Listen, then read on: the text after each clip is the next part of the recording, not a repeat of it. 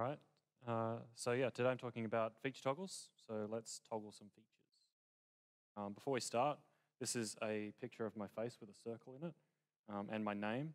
Um, if you wanted to tweet any, anything at me, that's, um, that's my Twitter handle. And there's a, a, website there with some more stuff about me if you wanted to have a look. Um, this talk will be put up there um, once they're made available on YouTube. Another thing before we start, uh, thank you to our amazing sponsors.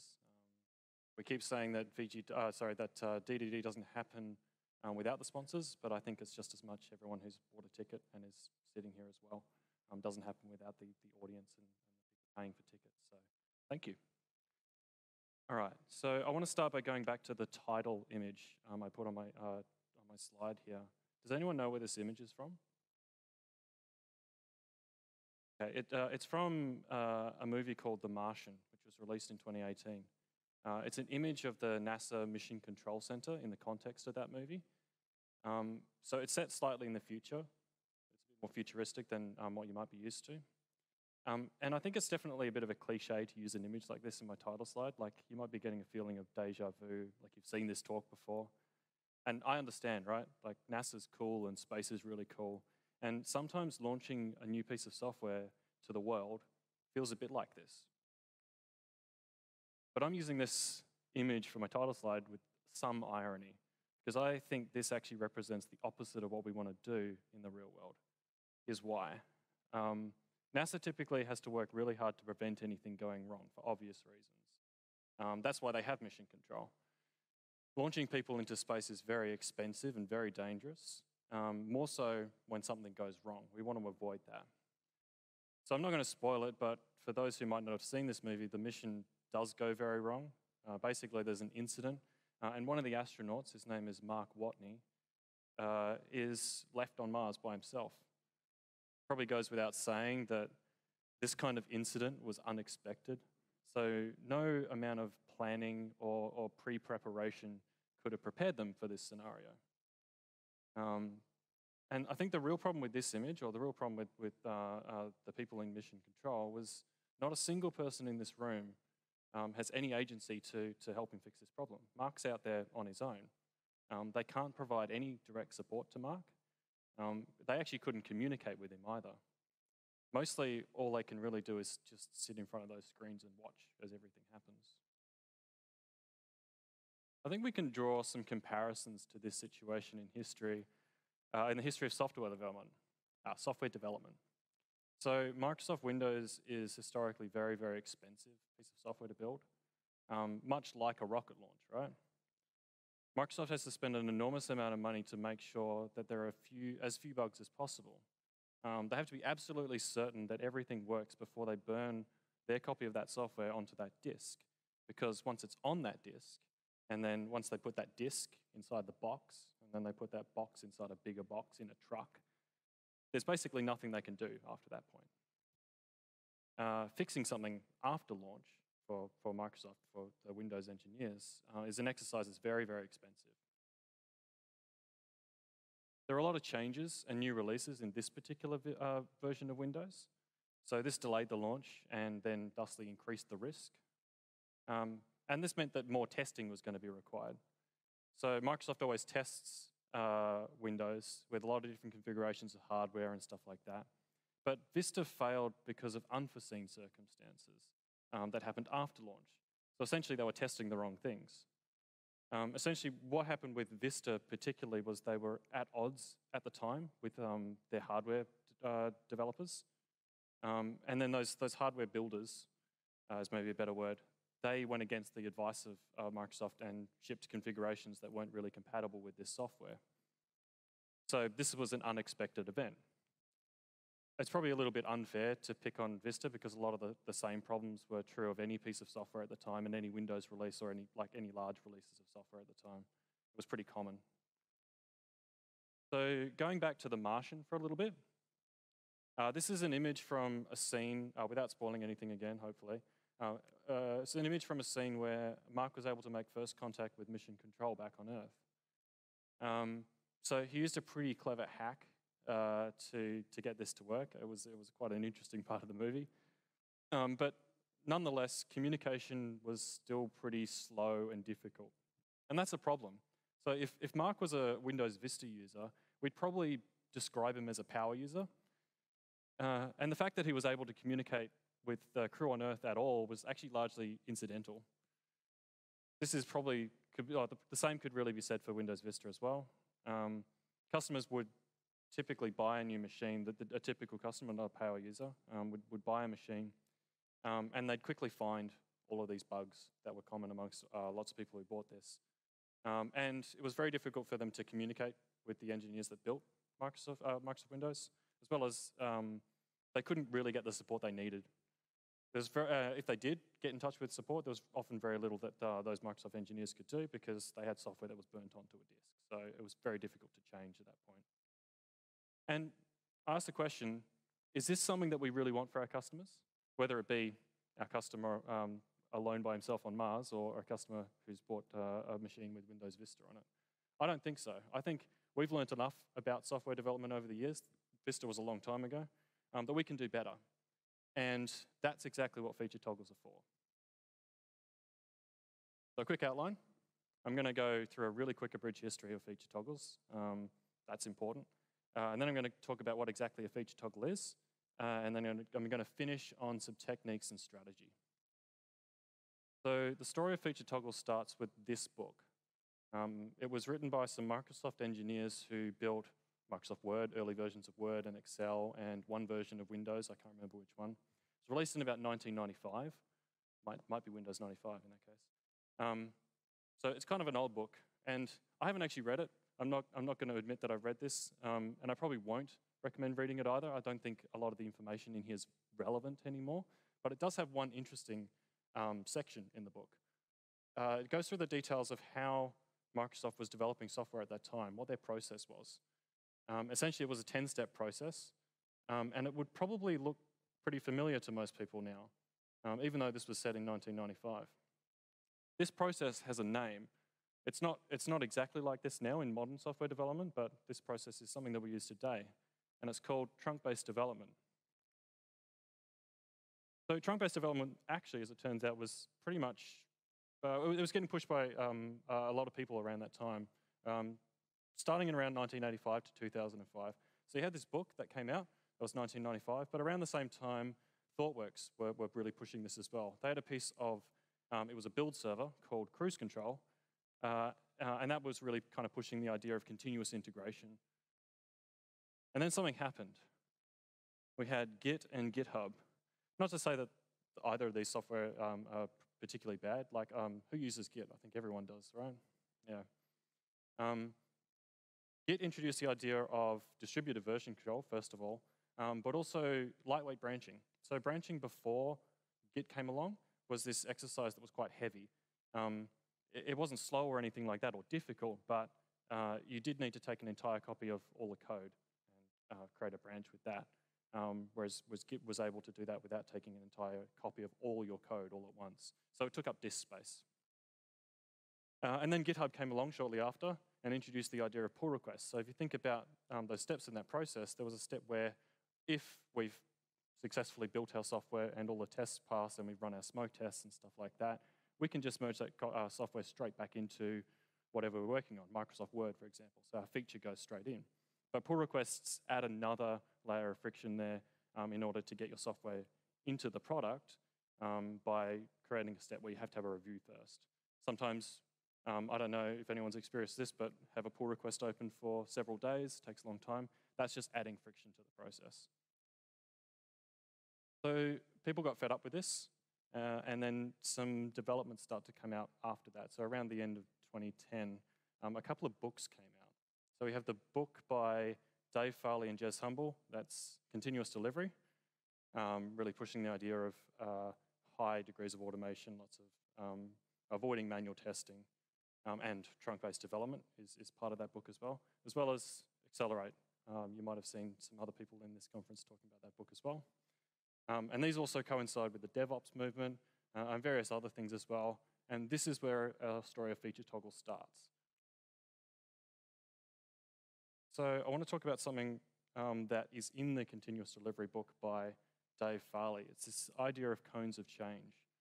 So you can imagine two developers are working on a new feature. So they're working inside the same repository, for example. Um, and we can imagine working on that feature as the culmination of a, a numerous changes. So we'll, we'll, open up a file, we'll make a little change there, we'll open up another file, maybe add new files, delete files, and stuff like that. And that accumulation of change is, is known as a cone of change. And the problem with uh, large amounts of change is, or, or the uh, culmination of lots of change, is that eventually that cone gets wide enough that it might clash with other cones. Um, we can see those collisions there. Um, those collisions are in the form of merge conflicts, but also it can be code that um, is going completely in two different directions. That's really not able to be merged. It, it, gets difficult. So we can see that, yeah, the wider our cone of change, the more likely we are to have uh, collisions there that are hard to, hard to work with. So how do we fix that? Fix that with the idea of continuous integration. So instead of thinking about features, what we can do instead is start to think about something that's smaller than a feature. Just a small change, some, some part of a feature, but not the whole thing, because those features could be too big um, and could be creating too many of those large cones. So uh, if we're going to go and, and change this up so that we're using continuous integration instead, it will look something like this.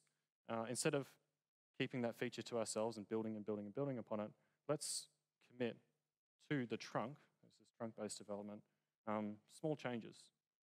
And, and um, yeah, then what we can see here is we're not seeing those cones of change and we're not seeing any sort of collisions there. So that's continuous integration.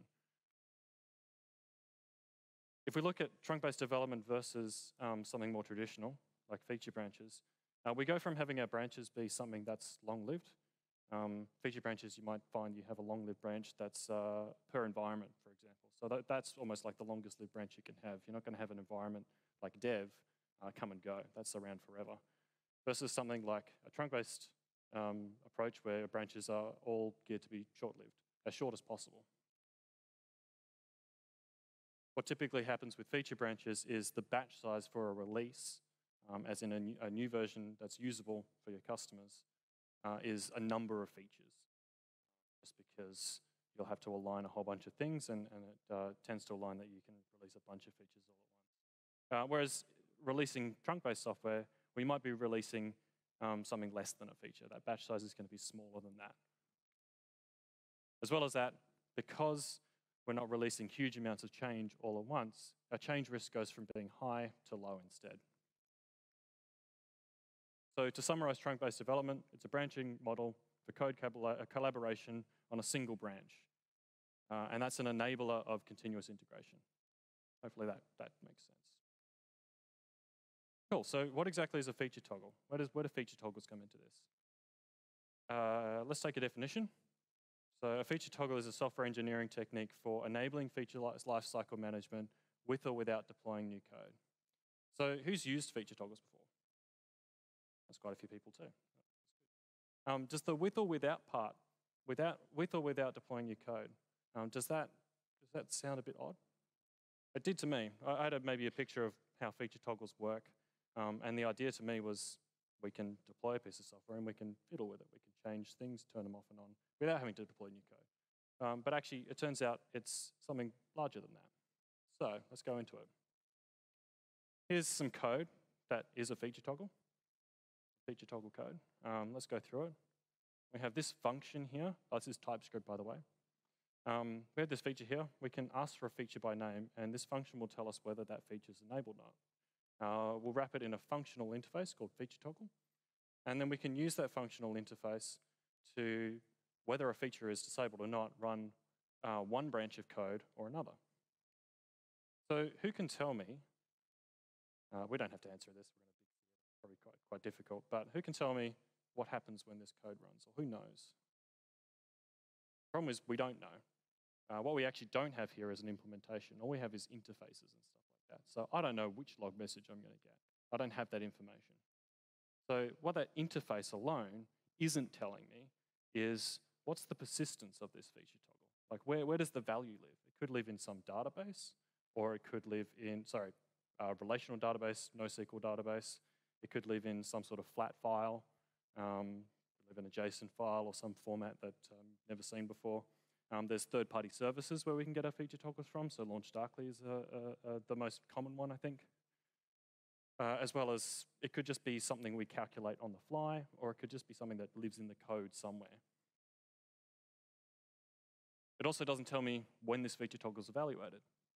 So this could be evaluated per request. Every time we request it, it could potentially be different.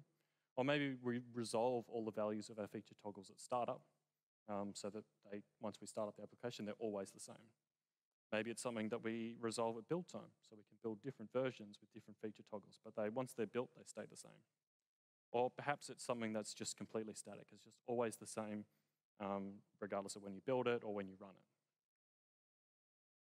it. Uh, it also doesn't describe the longevity of the feature toggle. Like, how long is this designed to, to last for? How long, how long is this meant to be a feature uh, toggle for? Could be somewhere between hours or years. And I think years really means indefinitely. Um, it's a very long time. It also doesn't really describe some aspects of the behavior. So we don't know anything about the input validation here. What if that feature is one that I'm not familiar with, me as the code? Um, what should happen there? Should there be some sort of safe fallback? Um, should the default value be false or true? Should it throw an exception because I don't really know what the default value is? Um, and it doesn't really give me any idea of whether the uh, output of this is consistent at all. So not much there that an interface can tell us. I've got a hypothesis. Let's implement our feature toggle this way. So this is, this is a feature toggle service called always off. And what we do is we ignore the input. We don't care what feature toggle it is. We'll just always return false. We can implement the feature toggle down here in the closure. So is this a feature toggle? I think it is. It looks like, it looks like one to me, right? It implements the feature toggle interface. Um, it returns the correct value, something that I'm kind of expecting. It's a Boolean. Um, but I'm looking at this and I'm going, there's a lot of superfluous code here. I don't really need half of this, right? Um, I'm always getting the same value from this feature toggle. It's always false. So why don't I just do a bit of refactoring, right? So what if I just remove um, some of that feature toggle stuff, and I just drop that false in there so it's always, because it's always going to be false. Is this a feature toggle? Well, it doesn't say it's a feature toggle anymore. There's no interface. I'm not implementing a feature toggle interface. But I think this still is a feature toggle. Let's go a step further. Um, if my compiler's having a look at this, so I'm using TypeScript, although this code kind of looks like it's just JavaScript right now. Um, if I'm using TypeScript, TypeScript's going to have a look at that and start to make efficiencies here and there. And it doesn't really matter if it's TypeScript or other compilers, they, they mostly do this. It'll look at that if false statement and go, well, what's the point of that? There's, it's, I don't, like, I'm never going to execute that code on line five. It's, I might as well get rid of it. So let's say the compiler has a go in it, um, just removes that. Is that a feature toggle? Not looking much like a feature toggle anymore, but I still believe that that is. Um, that might look a bit strange, but I did title my talk Everything's a Feature Toggle, so I had to work something like that in there. Um, yeah, it doesn't look like a feature toggle, it's just a bit of code, but yeah, that is a feature toggle. I'm going to give this feature toggle a name. Um, I don't think there's commonly used names for a lot of this stuff, so um, these names are just made up by me. But um, I'm going to call this a static toggle. And a static toggle is categorized uh, by being persisted in code. So I don't have to ask some database or some file for the value of this one. It's just in the code. somewhere. I get static and very consistent evaluation. It's basically just always false. It's very, very predictable, and that's nice. Um, and this is a tool you can do, uh, you can use to do a thing called branching by abstraction. So let's talk about what that means. Let's say we have um, some old code that we want to replace. We've got a new version, maybe a new version of an algorithm that we want um, to put in there that's more efficient. Um, but what we want to do is that algorithm is going to take a little bit of um, back and forth. Maybe it's going to be multiple commits into our repository. It's going to take a little while to write. Um, I, want to, I want guarantees that I can start writing that code, make commits. Maybe someone else can kind of um, collaborate with me. But I want guarantees that that code that I've got in, that, in my repository is not going to run, right? So what I could do is do a commit. Um, I don't have to do a commit and, and push all of this up, but like the first change I might look at making is putting a feature toggle in front of it. And this can be an always off feature toggle. So I'm always going to go down to that um, old code path. So it doesn't really matter what on, what's on that new code path there at the top. At the moment, there's nothing. I haven't put anything in yet. Then what I might do is start working on that new algorithm. And if I'm just playing around locally, I can switch that to an always on toggle, as long as I don't commit that anywhere. Um, I can start working with that, that new algorithm, test the performance, do stuff like that. I can commit that uh, and let one of my colleagues have a play around with it, um, see if they can make it more efficient. I get a guarantee that I know that code's not going to run um, in production. It's not going to make it into, uh, into the hands of users, which is quite nice. Once I'm ready, I can flip that feature toggle from being always off to always on, or I might have some other feature toggling strategy there. Um, I'll talk about more of those in a minute, but um, once I'm ready, basically, I'm going to start executing code on that new code path. Uh, and then when I'm happy with the final solution here, um, it looks like it's running perfectly fine. The last step I can do is just to remove both the feature toggle and the old version of code. It's quite a safe approach to, to incrementally adding new features. And that's what branch by abstraction is. So this is a quote from Martin Fowler's article about feature toggles, um, specifically in the context of what I've just talked about. Feature toggles are an interesting way to allow incomplete and untested code paths to be shipped to production as latent code. I sometimes call it floating code. Um, but the idea of that is that we get guarantees that it will never be turned on, it'll never be executed, which is quite nice. Let's uh, go back to our static toggle for a minute. Um, let's just work through an implementation just so we get an idea of um, what that might actually look like. So what we have here is uh, I'm looking at implementing a new version of my payment gateway. Um, maybe we've moved from XML and SOAP to something a bit nicer like JSON. Um, the idea here is that uh, the input and output, basically the interface to this payment gateway is the same. That's how we can use branch by abstraction here. Um, so I've got both implementations here. And what I can do is I can use a feature toggle. I'll put a feature toggle in front of it. And we can see that that feature toggle is, uh, by default, it's always off. But my implementation here, um, if, if my feature toggle was actually turned on at this given time, I'd use that new gateway. Um, so yeah, I can see I've always I've defaulted always off here. Here's some unit tests, because we always have to uh, test our code. Um, and we, what we can see here is we've got this one test suite. We're going to um, test uh, this old uh, version of our gateway and a new version of our gateway with the same test suite because we know that they should behave the same mostly. Uh, if we run our tests um, with the old gateway, we can run it with that uh, always off feature toggle there. Uh, and if we want to test our new gateway, we can test it with that always on feature toggle there. We get the same test suite over both. We can plot feature toggles um, on, a, on a graph, I guess, um, plotting longevity versus evaluation. Um, and our static toggles land in this sort of bottom corner down here. They're grouped under a section of toggles called I call release toggles. Um, and the idea is you might use something like this for a couple of days um, while you're collaborating on some new code that you're writing. Not going to be using these all the time, by the way, as well. Um, and in terms of how, how they're evaluated, you get, um, they kind of, well, they land completely in that static kind of area down there. Let's uh, continue on with some more different types of feature toggles.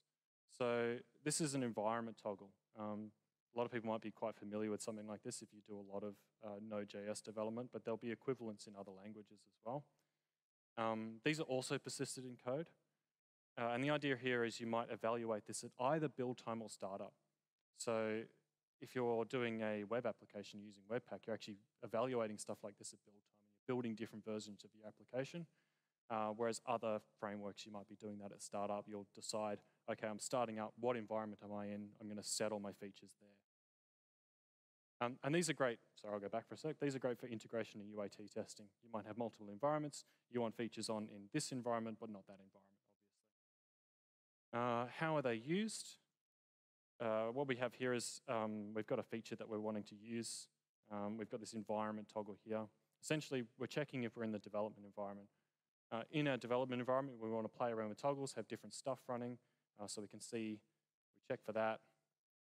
Uh, and then, yeah, if we're looking at our dev toggles here, we can check if, if we're matching certain toggles, what we want to have on, what we want to have off at the time. But we get a guarantee here that if we're not in the development environment, we turn everything off. Everything's, every, every new feature's there uh, is off. That's really nice because um, it gives you a guarantee that you're not going to accidentally run any of the software in the wrong environment, um, not when it's not ready.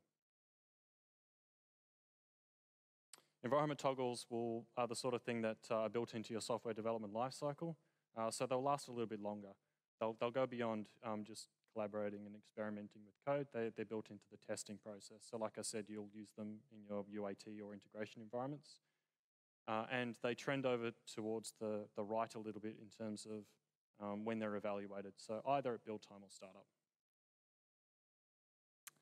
Moving on. This is actually the type of feature toggle that I was most familiar with um, when I started uh, using them, I guess. This is an application toggle. Um, and these are the most flexible. So the idea is that the persistence will vary. When I was talking about um, where can your feature toggle be persisted, could it be in a database or um, in code or in a NoSQL database or something like that, that's usually talking about these types of feature toggles here. So this example um, runs against a SQL database. I'm running a SQL query to decide whether this feature toggle's on or off. Um, and I can do that, I can evaluate that either at startup, application starts up, I'll decide what's, what's enabled, what's not, um, or I can do that per request as well. I can turn things on and off while people are using this application. Talking about them being versatile and extendable, what we could do is we could tweak the, that interface a little bit if we wanted. So we can create a user toggle, which accepts two parameters instead of one. We've got the feature name, but also a user ID. Uh, and then what we can do is enable features for certain users. So a canary toggle is a toggle based on identifiers, identifiers of your user, but not necessarily user, maybe other things as well. Probably want to evaluate these ones per request. If you've got a lot of users, you can't really evaluate this once at startup. So this is something you do per request.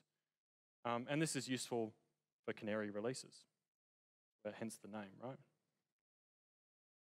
Another type of toggle you might use um, in this kind of uh, familiar to this one as well is a calculated toggle. So the idea here is um, these, are, these go back to being persisted in code. Um, we're not going to ask a database for something like that. But what we'll do is we'll do a calculation of those per user attributes, so something like the user ID. Um, and we'll use that in order to split our traffic um, in a certain way. What we can do is, um, this example here, we've got a, a hash. Um, you don't want to see how that sausage is made. It's, it's, uh, there's quite a complex um, little algorithm there, but the idea is you input a string and you get a number that's somewhere between one and zero. And what we can do is our calculated toggle just checks if that number is greater than 0.05. And that's actually going to split our cohort essentially in half. Um, again, you'd evaluate this per request. Uh, and this is something you'd use in A-B testing.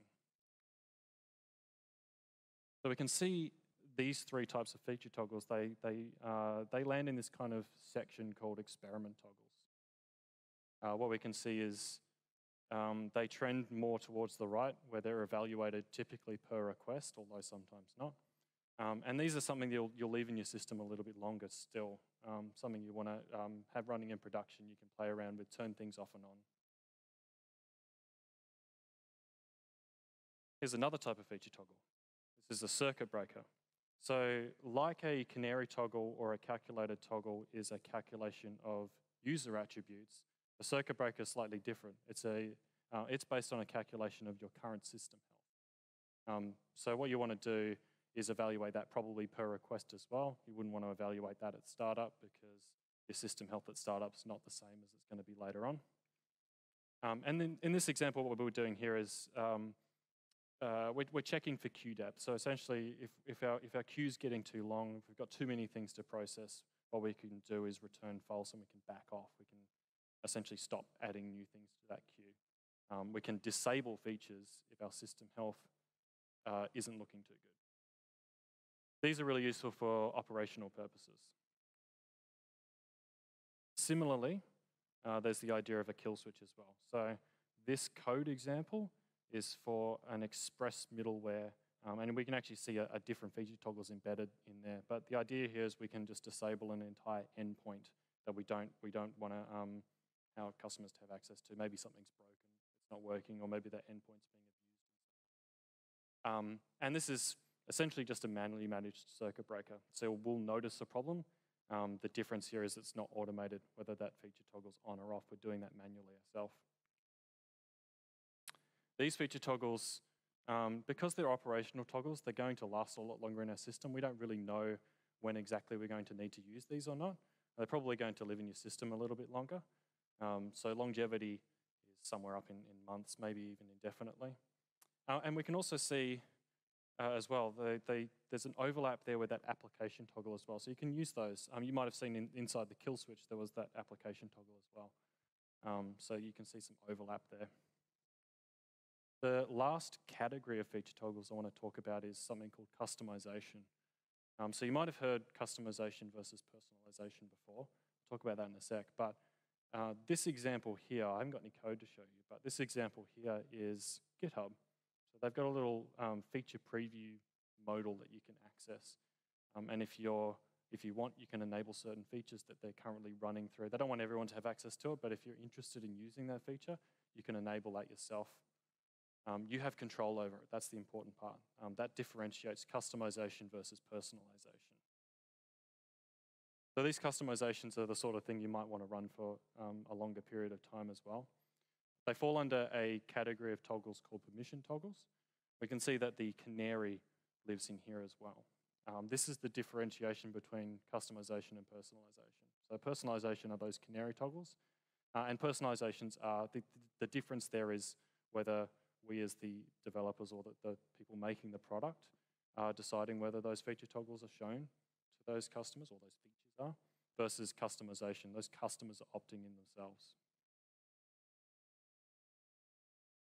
So I've shown you a bunch of different types of feature toggles and what they look like. Let's quickly talk about some techniques and strategy.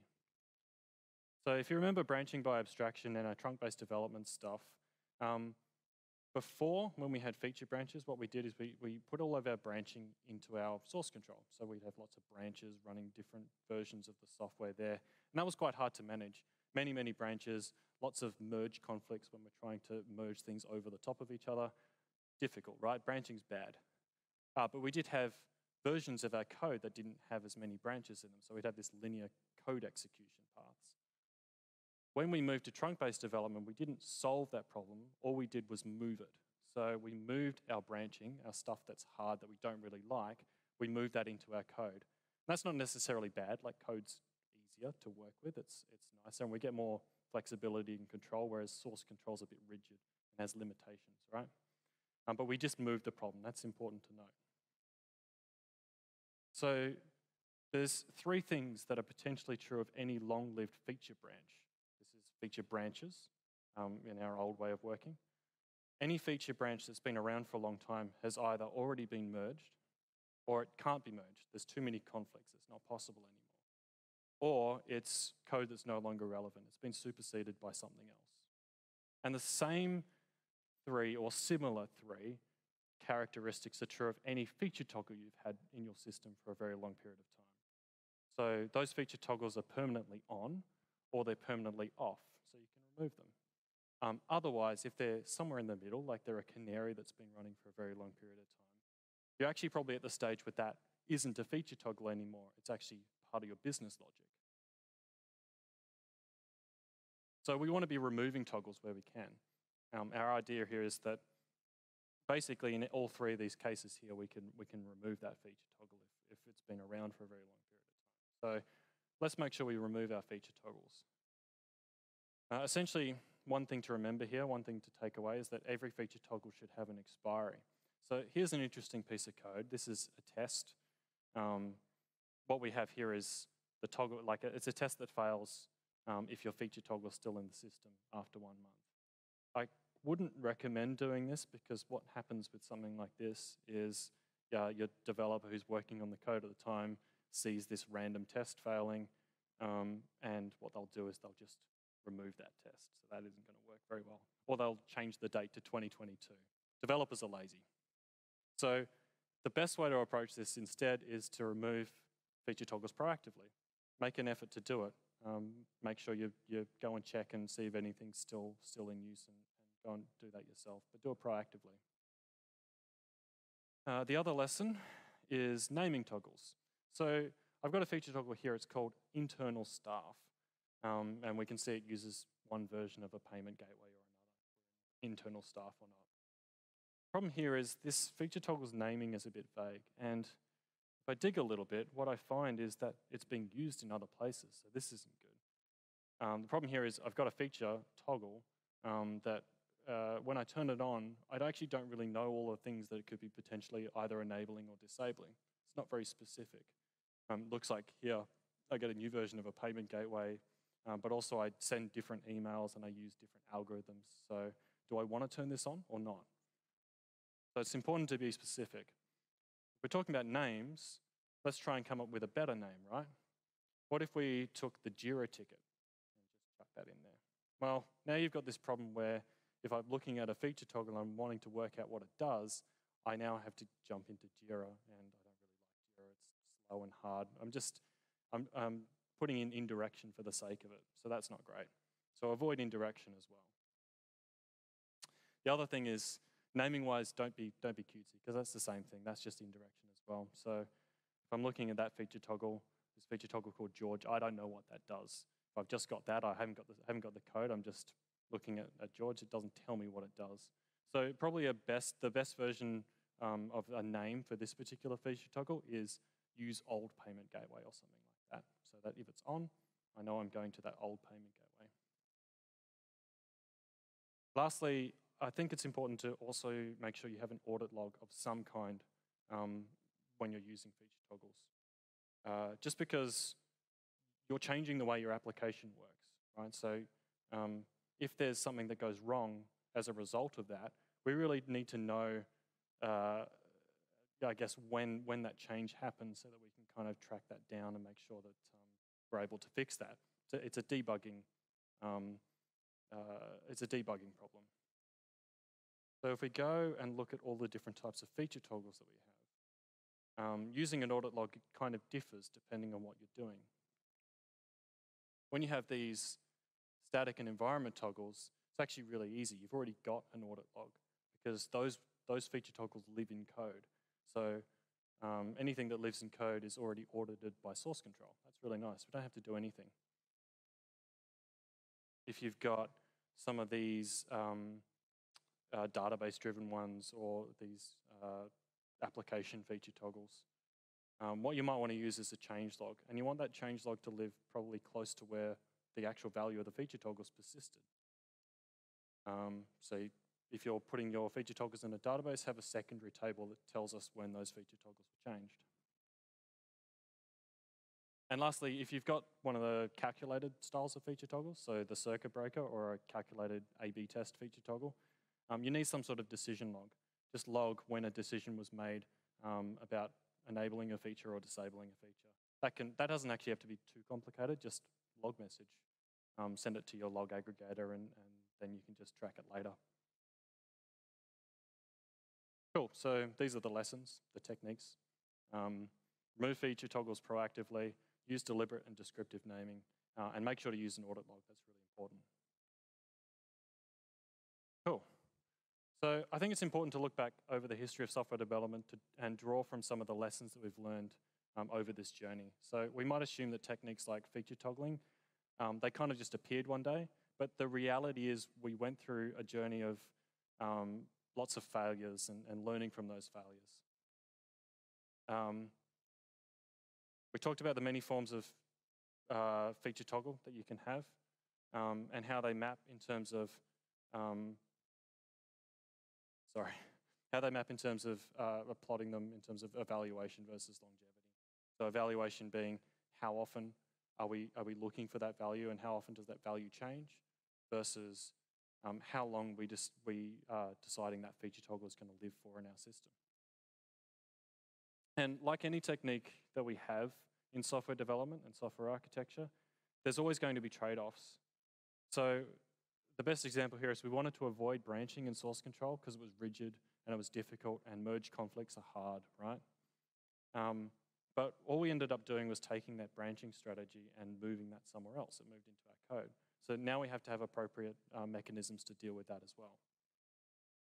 Be aware of some of the techniques that we have at our disposal and the many ways that we can use them, uh, as well as how to use them properly.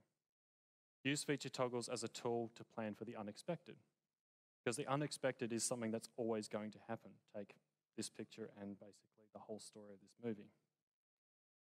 Uh, planning for the unexpected can make a huge difference to the, difference to the success of your product, uh, but also the experience for your customers. I'm going to thank the sponsors again, um, as I can, uh, but also I want to point out that I work for one of the companies on this slide. Uh, that's these guys here. If uh, feature toggles and, and the idea of using them uh, is interesting to you. We use them a lot. We play around with uh, the various different versions of them as well. Um, we're also hiring. I'm up here doing the, the hiring spiel because um, we're looking for people. So if, if you're interested, come talk to me or um, we have a booth down in, in the back corner um, with Jacob and Travis down there. They'll give you a free pair of socks if you haven't got them already. They look really cool. That's been me. Thank you.